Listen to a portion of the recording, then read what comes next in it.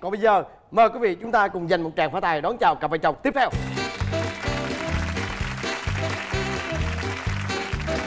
Trời ơi, cái nhìn hai chồng dễ thương quá vậy trời. Rồi chào hai em. Hai em giới thiệu về mình đi. Dạ em tên là Tăng Anh Huy. Em ờ, năm nay 30 tuổi. Thì hiện tại em đang là, là nhân viên văn phòng nghề nghiệp là IT Em ờ, sinh ra và lớn lên ở Sài Gòn luôn. Dạ, dạ. mời em. Dạ em là Quách Diễm Trang. Năm nay em 29 tuổi Dạ à, em à, lúc trước thì em có đi làm kế toán Nhưng mà hiện giờ thì em ở nhà nội trợ. Người em cưới nhau bao lâu rồi? Dạ tụi em cưới nhau khoảng 1 năm 6 tháng rồi. Có em bé chưa? Dạ chưa. Chưa. Rồi hai em kể cho anh nghe là chuyện tình hai em bắt đầu như thế nào. Thì nguồn gốc là Dạ em trước đây là bạn của bộ cũ em. Hấp dẫn rồi nha. Chia tay rồi thì cũng làm bạn bình thường thôi Em cũng không có kêu là mai mối gì cho em hết Rồi à, không biết bộ cổ em với cô này nói làm sao? Rồi à, quyết định là làm mai em cho bà xã em. Ồ, là cô bồ cũ của em làm mai luôn? Dạ. Tại vì lúc đó là em chia tay bạn trai cũ rồi. Rồi bạn Bạn này thấy là em có một mình á Đi về một mình á buồn Rồi bạn này mới nói là Giới thiệu chồng em cho em. Nhưng mà lúc đó là chỉ gửi hình qua rồi Em với chồng em cũng có chat ở trên Facebook thôi. Ừ. thì tết đó em về quê xong rồi em quay lên á thì nó mới điện nó nói là nó có hẹn với anh này rồi. Ừ. nó sắp xếp xong hết rồi hẹn nhau đi trà sữa. Em nói trời sao hẹn không hỏi em gì hết trơn? Nó nói xong hết rồi người ta đồng ý giờ là đi thôi à. Trời sao bạn em nhiệt tình dễ sợ luôn á? Ờ, lúc mà gặp nhau thì như dạ không có ấn tượng tốt. Tại vì lúc mà gửi hình qua thì thấy ảnh mập hơn. Với lại tấm hình là ảnh ha, không có cười cười mỉm thôi. Mà lúc em gặp ảnh ở ngoài thấy ảnh ốm quá mà xong cười ra thấy răng ảnh xấu Vậy còn em?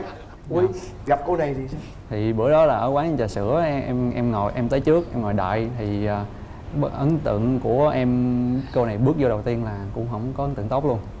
Tại sao vậy? tại vì cái cái mẫu người em thích đó là cái mẫu người con gái truyền thống không có để móng tay là cắt ngắn rồi không có um, sơn đồ rồi tóc là để tóc đen tóc dài bữa đó bước vô một cái nguyên cái đầu vàng khè tới lúc tính tiền. Là lúc đó là anh này tới trước thì ảnh kêu đồ ăn sáng để anh ăn. Xong rồi ba đứa bạn tới sau thì mỗi đứa đi trà sữa với ảnh đi trà sữa nữa. Xong rồi ngồi một chút xíu thì ảnh đòi về.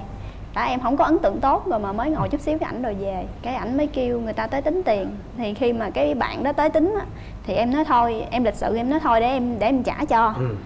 cái xong cái ảnh nghe vậy ảnh để em trả luôn. Cái lúc xong về thì em có hẹn nhỏ bạn ra gặp em nói kèo này thấy bộ không thơm. Thấy không được rồi. Tao thấy từ tướng cũng không được mà tao thấy đi lần đầu tiên mà để tao trả là tao thấy không ổn mà trong khi ổng ăn nhiều hơn người ta nữa. Ủa em nghĩ sao mà em để cho bé này trả tiền hay vậy? dạ tại vì ờ, lúc lúc đó là em mới ờ, tốt nghiệp đại học ra. Thời đó là em học trong trường em hiền lắm không có kinh nghiệm yêu đương gì nhiều. Ừ. Nên là thật tình là nói sao nghe vậy thôi. Bữa mà nói thầy bạn này trả cái em nói thôi để em trả rồi. Con này nói thôi để để con này trả. Thì vậy thôi trả trả luôn. Đó Người thật tình mà. Tại, tại em, em nghĩ là tại chắc không không phải gặp lần đầu biết sao còn bị mấy lần nữa thì lần này mình trả lần sau nó mình trả lại. Ừ. Rồi. Rồi à, đến lúc nào thì hai bạn mới kết nhau em thì em học IT em biết sửa máy tính. Ừ.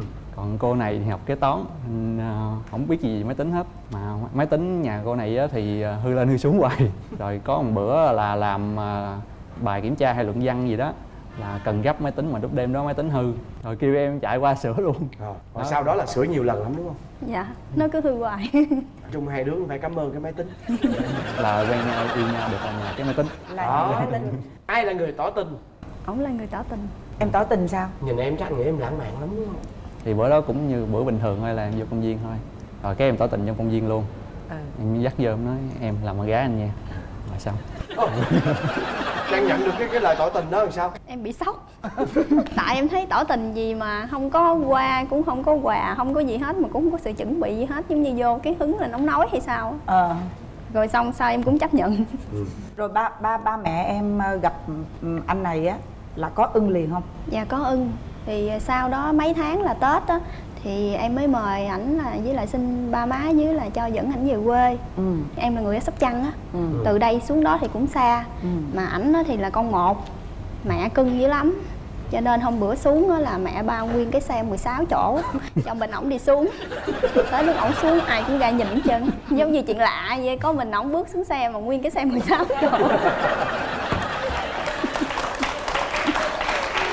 về dưới ba mẹ nhìn ảnh sao? Lần đầu á là mẹ em á nói thì thấy ổng hiền nhưng mà mẹ em kêu ra nó nhỏ hỏi thằng này nó có BD không sao con thấy nó ốm. Cái gì em nói không tại vì ổng ốm vậy thôi nhưng mà ổng ờ, không không có phải là Ổng men lắm. dạ.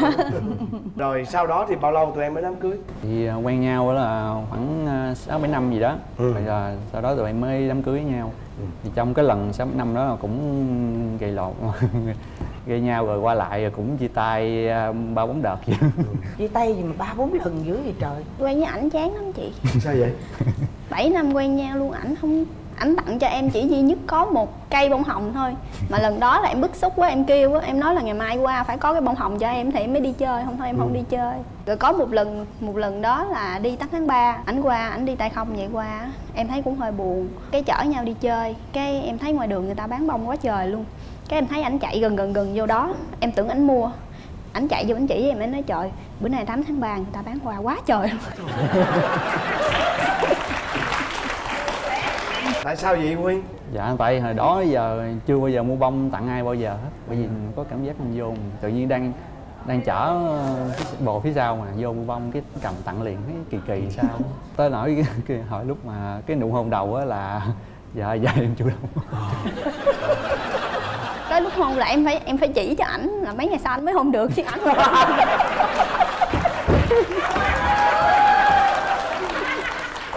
giờ thành thạo chưa nguyên dạ dạ đã giờ thành thạo chưa? Giờ đỡ.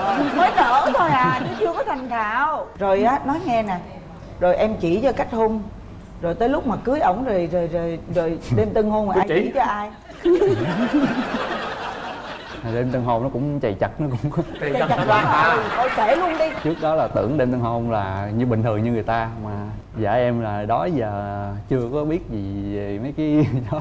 Trước cưới á, hay có cái tâm lý sợ rồi bắt đầu đi hỏi mấy đứa mà bạn mà cưới cưới rồi á Ờ. hỏi nó đêm đêm đầu sao? Tụi nó không biết nó tụi nó mô tả cái gì mà giờ em căng thẳng lắm. Rồi, rồi bữa đó em em vừa đụng vô người cái là la đụng vô người cái đụng là la đụng la. ơi em có thể cho biết luôn. Bạn em nó nói cái gì mà em lại sợ vậy?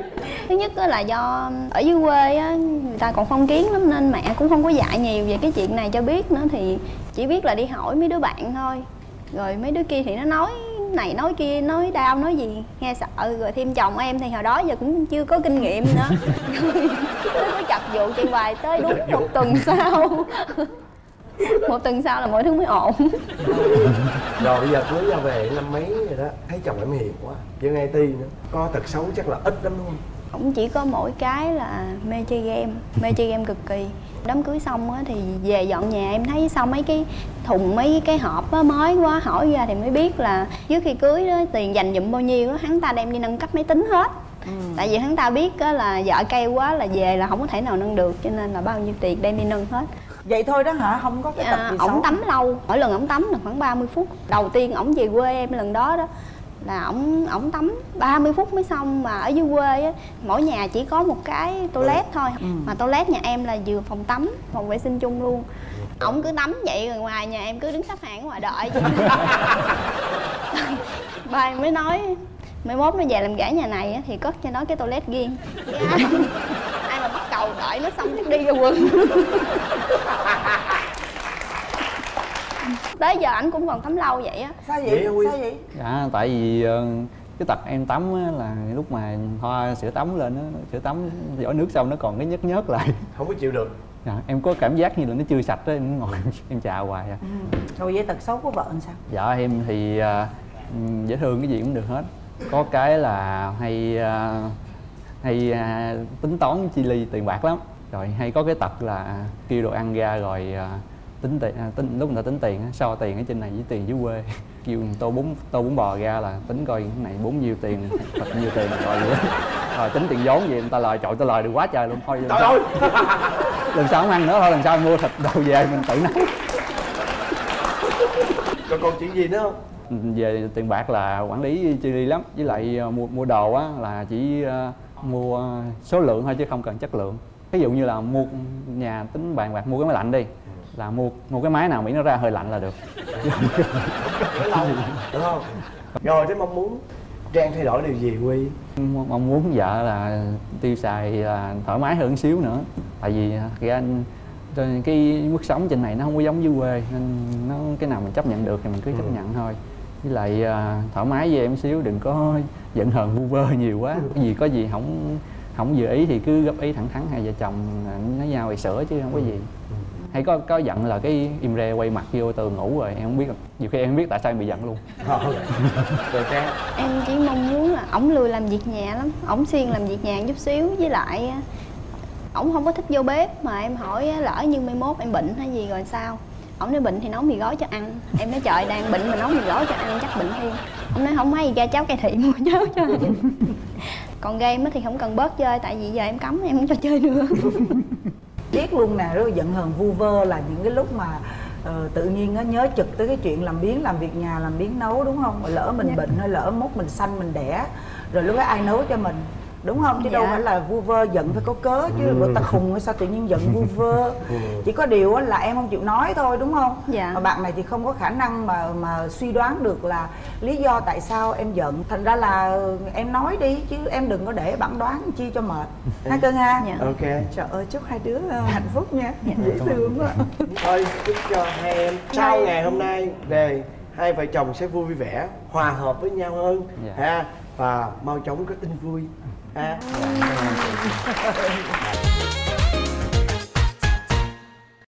Và bây giờ sẽ là phần kiểm tra hữu ý và bốc thăm may mắn. Chúng ta có bốn phần quà như sau. Trước tiên đó chính là một năm sử dụng sản phẩm dầu nành cao cấp của công ty dầu thực vật Tường An Được chiết xuất từ 100% đậu nành nguyên chất tự nhiên Cho các món ăn thơm ngon, tinh tế, yêu thương, gửi trọn.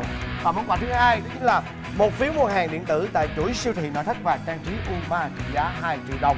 Chất lượng thiết kế Thụy Điển dành cho ngôi nhà Việt với phương châm biến ngôi nhà thành tổ ấm. Và món quà thứ ba đó chính là một voucher giày và túi sách tại hệ thống Vascara trị giá 2 triệu đồng.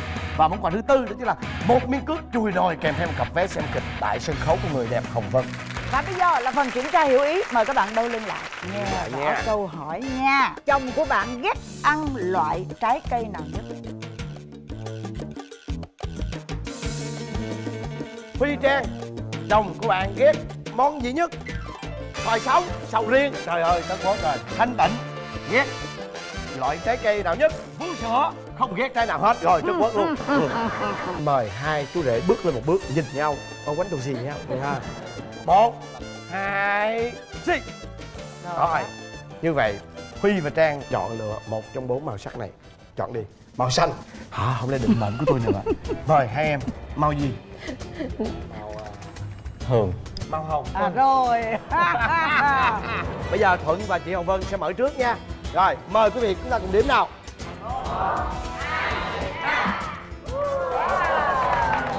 Và bây giờ mời hai cặp vợ chồng chúng ta chuẩn bị mở lên. Một hai ba.